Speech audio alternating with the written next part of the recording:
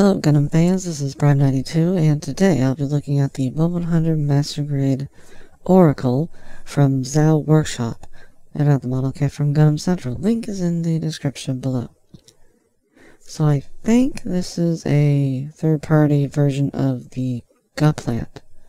Uh, I think it's a TR5. And I, I have the high grade. I think I looked at it like a long time ago, but this is, uh, I mean, it has that feel to it. I think in, even in this mode you can tell, because it's got like the uh, side cannons that are on the arms. Uh, it's got the long one here underneath. These are new on the on the top, although there's probably an Advanced Zeta uh, variant that actually has these. I mean, I guess it's kind of like the shoulder pylons that it has, kind of. You can see easily see the head in here, but it's not a big deal. This thing is chunky too. Like it's very uh, heavy. It's got a pre-built inner frame, lots of metal. And I, I found in this mode, in its, let's call it Wii Rider mode, it doesn't have a way to hold together if you're not using the stand. The, the crotch and the torso kind of click in here in the center, but they don't really hold that well because there's a lot of diecast down here. And the legs, they don't seem to connect anywhere. Like they're actually held up by these brackets right here. So without them, I don't think it'd actually be uh, together at all. At least from what I see. Maybe I missed something in the instructions, but as far as I can tell, they, the legs just dangle. And like the torso isn't, like the connection isn't strong enough to hold it together. So you definitely need the stand. It looks cool though. I'm not going to keep it in this mode, but it does look very neat. So let's get rid of the stand. Oh, and the gun here, it's actually this adapter piece you add in, and it just goes into this little indent in the metal piece in the crotch. And it just kind of sits there. I don't find it really connects. It just kind of, just kind of rests with these tabs. So we'll get that out of the way. And it's the uh, front of it, there's a peg hole that pegs right into this other piece, which is a pretty tight fit. And see now, you can tell the legs just kind of like just do their own thing. There's it's way too heavy. Like this is a lot of metal. There's metal in the crotch. There's metal in the knees. There's metal in the feet.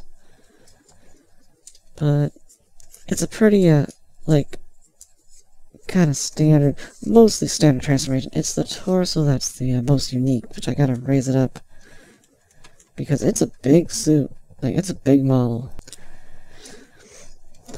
Now the next thing, I'm actually gonna untab um, the backpack. It's just, it's so big that that's the actual butt pack.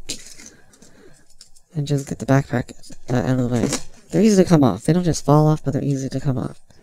So now it's just a matter of getting this piece down, the nose cone, into the crotch, and then bringing the back piece so that you can bring it back, which fills in the torso. So it's a little tricky to do. But once you get it, once you get it right, oh, there goes the skirt.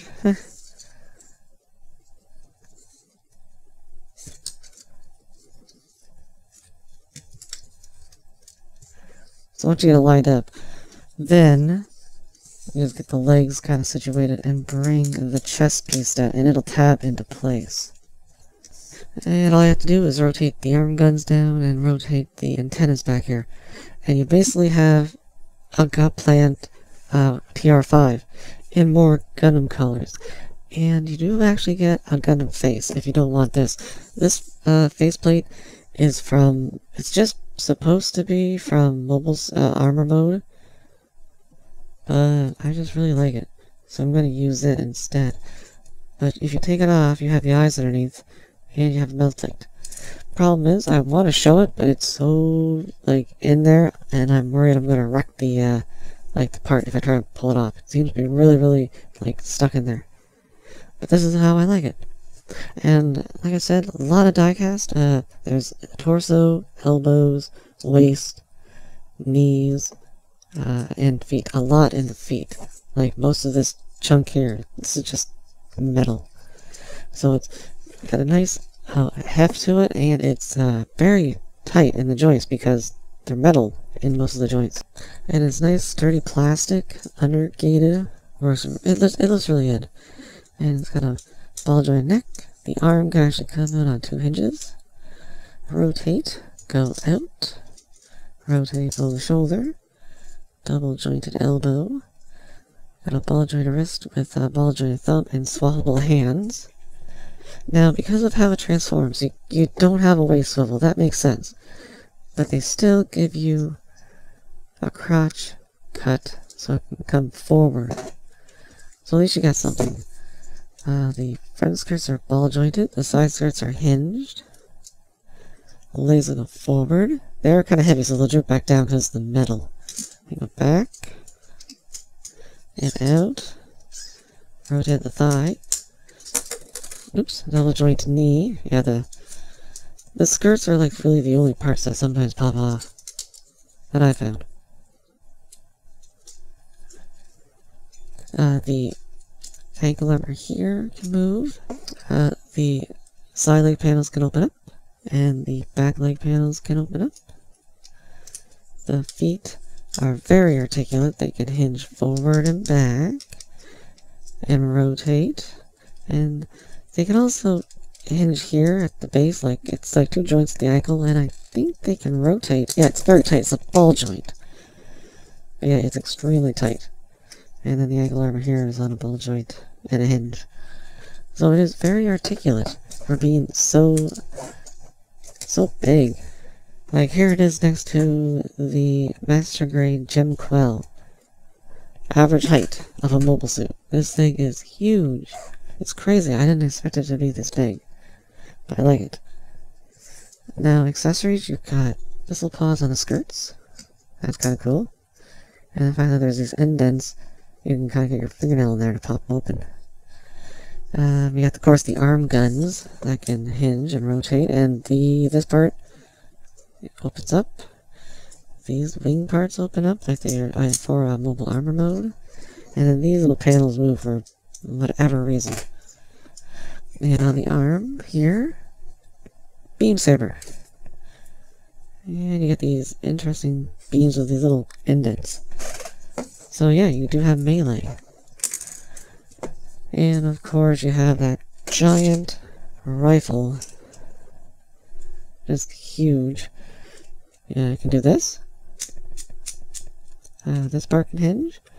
And you get individual, like, rockets here. And uh...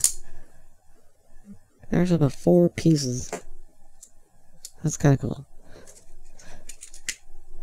And of course you get the different, uh, different hands. You got trigger finger hands, and normal holding hands, and closed fists. Okay, that's a little bit of a weird connection, because it pegs into the front of the fingers. But then, they're not, it's not a really tight connection. And it has this kind of a clip back here that's supposed to, I think, go into the armor and the elbow, which is why this is hinged. But when you push it in like that, then the fingers pop out. It's kind of weird, but you can kind of get it stable enough. See, that's what I was talking about. It's just, it's, it's strange. Very awkward. But it's also very long. It's hitting the table, so it's not going to actually come out too easily. Until I start messing with the backpack equipment. And for that, I can't show this because it's just, there's no space. So, we'll start with the, uh, the butt pack. It's got some armatures here for these things. And these panels open up, and these parts can rotate. And it just goes into the rectangular port. Like that. So a lot more thrusters going on. And then we have the bigger backpack piece, which is very colorful. Quite a bit of green, the red tubing. It's got a couple hinges here. These guns on the back can actually be disconnected and used in the hand. See, they have these handles that pop out. So now it's going to be a handgun. And I like that, actually. I like these ones better than the long one. It's cool to have a long one, but these ones will actually stay in the hand, like, without much problem. But it is nice to have them in the back, because then you do have over-the-shoulder cannons. And this part here is on a double hinge as well, and I think those are more missiles. I, I maybe, I, I have no idea really. But let's connect that, so he gets all filled out to look weird from the back. Yeah, I think I think that might be enough uh, firepower. And like that's of course not including the uh, the long rifle that it has. This is a pretty awesome kit. Like I, I can't lie. I love everything about it. And the only real little little teeny problem is that the gun is a little awkward to hold the long rifle. That's as far as I can tell my only problem. It's a great kit. It's solid. Metal is in the right place. It has enough weight to kind of distribute this backpack so you can still strike a pose and not fall over. Yeah, it's a, it's a great kit. I hope they do more, really. So if you want to pay it up, click the link below to go to Gundam Central, and I'll see you in the next review.